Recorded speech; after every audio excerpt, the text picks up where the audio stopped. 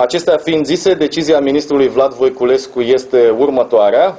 Niciun concurs pentru ocuparea funcției de management nu va avea loc până când nu se vor definitiva aceste analize și modificări, iar termenul este de câteva săptămâni.